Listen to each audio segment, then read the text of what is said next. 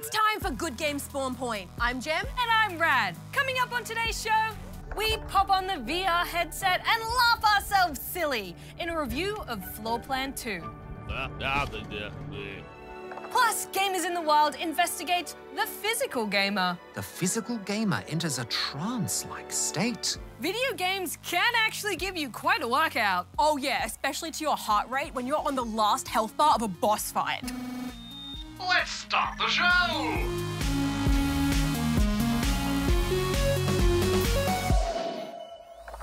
All right, Gem, I've been hearing a lot of whacker whackers and anxious squeals coming from your corner of the office. What have you been playing? Well, Rad, it would appear I've been sucked back into the pellet chomping shenanigans of Pac-Man 99. If you've ever looked at old school Pac Man and thought to yourself, this is cool, but it'd be even cooler as a Battle Royale game, then I'd like to have a word with you. Pac Man 99 is exactly that an online multiplayer version of the old classic on the Nintendo Switch. Not only do you have to deal with keeping the usual ghosts off your back, but you've also got incoming attacks from other players slowing you down. It's so stressful, but try as I might, I can't put it down. It's always just one more round. I don't think my controller has ever been squished so intensely, and I don't think it ever will again. I wonder what the next classic game to get the online Battle Royale style treatment will be. Perhaps Frogger 99? Or dare I say, Pong 99. A Pong Battle Royale game? Now that sounds interesting. I wonder if my linked alternate space-time entanglement reconstructor button could activate a world in which that already exists. Uh, let's hold off on that one for now, Darren. Uh, we have a show to do, and the last thing we need is another apocalypse situation. I don't know what you could mean. uh-huh, okay. Anyway, Rad, what's been going on in the world of gaming news? Well, Gem, we recently heard some new PlayStation announcements, including that Among Us is coming to PS4 and PS5 this year, along with exclusive Ratchet and Clank skin, hat, and pet. Also, Subnautica Below Zero was confirmed for PS4 and PS5 and should be out now. We saw a whole heap of new gameplay from the upcoming Ratchet and Clank Rift Apart, which showed off the neon-drenched setting Nefarious City, as well as new moves, weapons, and features, and the swift rift travel. Plus, we got a bit more of an introduction to the new playable Lombax character, Rivet. Oh, how riveting! It was right there. I also saw the developers of the heartfelt and sometimes heartbreakingly hard platformer Celeste have revealed they're working on a new game. Or rather, they've revealed the vibe of the new game. Yeah, they're calling it a vibe reveal, which is an interesting term. So far, we've just seen a little artwork and music teaser, as well as the title, Earthblade. It's been described as a 2D exploration game with a pixel art style. And the music is by Celeste composer Lena Raine. Fun fact, Lena also created music for the Minecraft Nether update and was one of the composers behind Sackboy A Big Adventure. All right, you two, it's time to reveal the vibe of the rest of the show. Expert segue there, Darren. Why, thank you. Jem, have you ever been to an escape room? I. Well, Floor Plan 2 is the game for you. I have.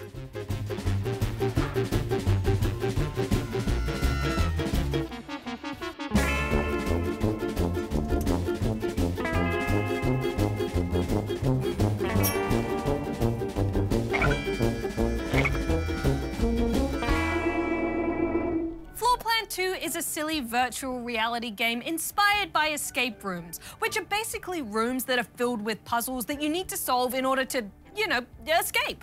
There isn't really an escape element in this, though. I mean, you can leave the rooms whenever you want, so really it's just solving puzzles. There is some story to tie it all together, though. You arrive for your first day of work at Puzzle, a company that solves people's puzzles for them. At least that's what they said they did. And then you need to find some things for the boss. I mean, yeah, there's not a lot of story. Yeah, it's pretty short too. Depending on your puzzle solving prowess, you can knock this out in a few hours, or a couple more if you want to find all of the cute collectible creatures. But I don't mind a short and sweet VR experience if it's good. And you should always remember that VR is not recommended for younger spawnlings, and no one should be playing it for long stretches of time. And this certainly has a lot of charm. I love the cartoony, squishy character designs, and there's lots of silly interactivity. I mean, I got to dance with some cool chickens, so that's a bonus point right there. Oh, totally. And I love how you have these floppy, cartoony arms. And the way you store items in your bum bag is great. What did you think of the actual puzzles, though? Yeah, they were a bit of a mixed bag. They mostly followed the classic find an object, then figure out how you're supposed to use the object formula with some twists. And I enjoyed a bunch of them, but some of the solutions were just not at all logical to me. Yeah, instead of having lots of those great aha moments that make me feel like a big brain, I was having more of those oh uh, moments that made me feel more like a big dummy. Thankfully, though, there is a little assistant you can call on to provide hints when you're stuck. And I will freely admit, I was hitting that button a lot. I think part of the problem is the way the majority of puzzles are laid out across these two towers. Each tower has multiple floors that interact with each other in some not super obvious ways. So you can't ever just see everything you need in front of you, which leads you to going back and forth from room to room, wondering what it is you missed. I think the fact that they needed to put a hint button in is because they probably realized that there were a few solutions that people wouldn't get on their own. Yeah, it doesn't do the best job at pointing you towards the next thing you should be looking at either. So every time you get something new, you just have to wander around until you work out what it could be for. For example, I found a pipe in one room, and then when I went to another room, a security guard would block me from going through a metal detector with it. So my brain thinks, okay, well, clearly I must need to get the pipe in there somehow. And I proceed to spend the next 15 minutes trying to find ways to get in there. But it's not meant to go in there. Well, I know that now, but here's the kicker. As I'm faffing around with trying to get the pipe in there, I went to put it in my bum bag and it just disappeared. But surprise, surprise, it magically appeared on the other side of the metal detector. Great, I broke the game. I don't know how I did it, but I thought, well, if it helps me get through this puzzle, I'll take it. Then I spend the next 10 minutes trying to use the pipe on everything I can before I realise it's probably not even meant to be in there. Yeah, I actually had a bit of a bug too. There's a puzzle that takes place in just one room, and I spent ages. I tried literally everything, and I couldn't seem to progress. I was pretty sure I needed this girl's sponge, so I tried tickling, poking, hitting her with fire, and using every item I could. But nothing I did would get her to let go of her sponge. Turns out that was what I needed to do, but the game was bugged until I quit and reloaded the save. I just wish I loved the puzzles more, because I do love the vibe of it and what they're going for. I mean, when you beat the game, you get to put little butts on your hands that fart. Mwah, comedy gold. But overall, I found it more frustrating than fun. So I'm giving it two and a half out of five rubber chickens. Yeah, there are some fun, goofy moments, and some of the puzzles are really tough, so props to them for that. I just would have liked it better if the solutions were more logical or they were signposted better. So I'm also giving Floor Plan 2 two and a half out of five rubber chickens. Here on planet Earth, there are nearly 8 billion human beings. Among them walk a special breed who possess a unique and wondrous habit. These are gamers in the wild.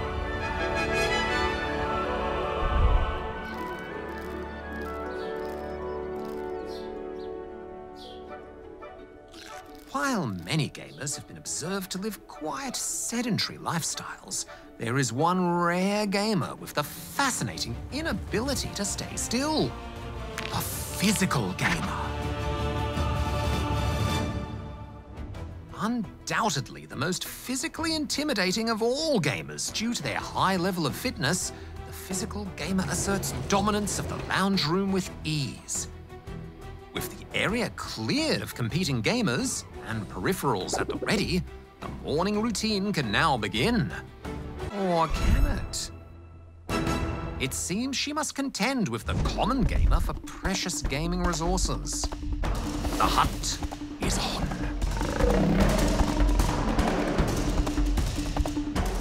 The common gamer takes her chances and attempts to flee.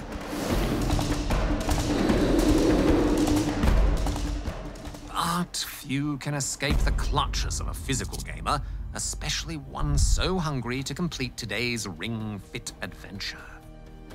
With the common gamer dealt with, she can now begin. Through rigorous training, the physical gamer enters a trance like state.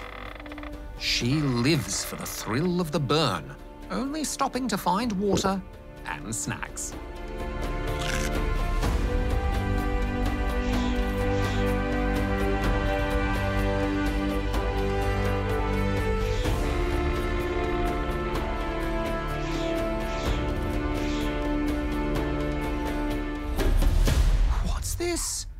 Seems the common gamer would like a go. Exercise is often a foreign concept to the common gamer. She struggles as the Ring Fit trainer demands more and more squats. And now the typically standoffish physical gamer is helping the weaker gamer. Extraordinary.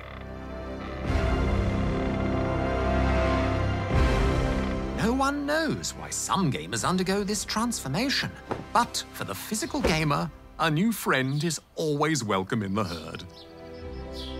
And so we observed the fascinating, unique, and colourful existence of gamers in the wild.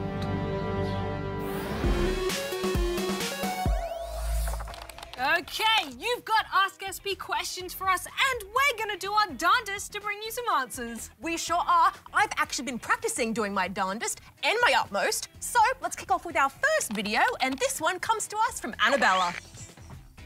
Oh, hi GGSP. I have two questions for you. Number one, what are some good tricks on Animal Crossing New Horizons? And two, when is Splatoon 3 coming out? If you do not answer my questions, I am going to add a thousand more turnips to your account on Animal Crossing New Horizons. Oh, and can Darren do these? Oh, some cat-themed emoticons! Meow! Meow! Meow! Me out of this world! Thank you. Bye. Thanks, Annabella. Although your threat of giving us a thousand turnips actually seems like quite a lucrative reward, provided we could sell them before they go rotten, of course. Hmm. Anyway, if you're after some good Animal Crossing tricks, well, we actually made a video on this very topic last year. It includes tips on planting gold to get a money tree, cross-pollinating flowers, how to use fruit consumption to your advantage, and all sorts of other good stuff. You can search that out on our website. As for when Splatoon 3 is coming out, so far all we know is that it's due for release sometime in 2022. So still a while to wait for that one. On to another query now, and this one comes to us in email form from Daisy in Varsity Lakes. Hi GGSP, what is the best way to make friends in my time in Portia? Also, how do you make a workshop?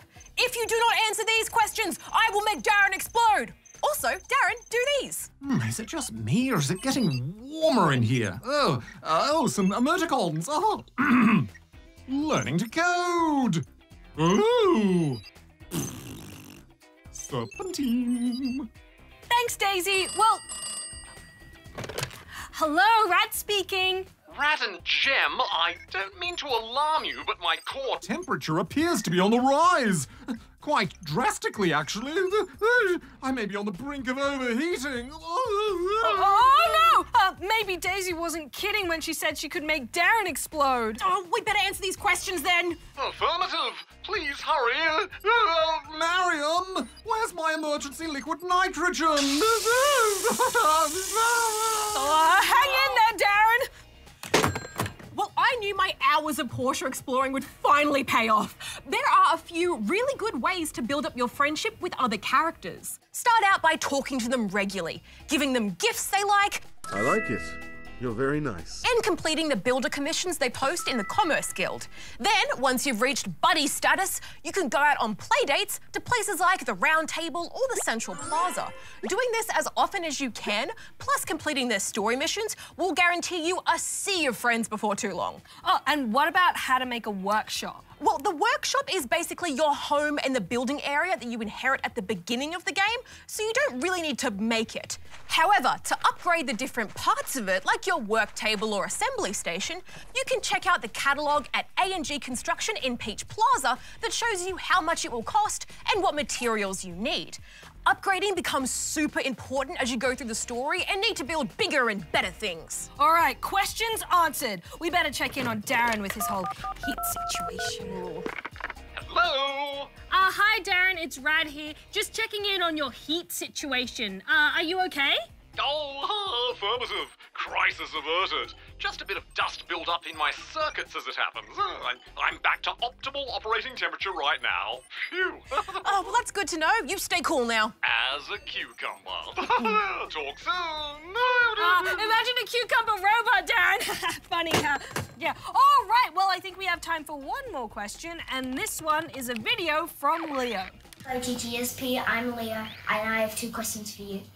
One is Crash Bandicoot 4 coming on Nintendo, and two is Fall Guys Ultimate Knockout coming on Nintendo. And can Darren do these? Oh, more emoticons! Kettle time! Checking my watch. Tax return! Thank you, bye. Thanks, Leo. To answer your first question, well, yes, indeedy. Crash Bandicoot 4, It's About Time, has actually already crashed its way onto the Nintendo Switch. It's about time. Yes, it is the name of the game. As for your question about whether Fall Guys Ultimate Knockout is coming to Nintendo, well, yes to that too. It was originally announced that it would release on Switch around the middle of this year, but we recently heard it will be a bit delayed. So we'll have to keep an eye out on updates there. Well, it appears that's all the time we have for Ask SP this week. If you have a question for us, go here and send it in. And if it's a video that makes it onto the show, you'll score yourself some sweet GGSP goodies. You know, I hope Darren's okay after that whole temperature incident. Ooh, yeah. Maybe we should chip in for some kind of upgraded CPU cooling system for his birthday or something? Uh, this might be a weird question, but does Darren have a birthday? You know, we've known him for so many years now, and honestly, I'm not sure.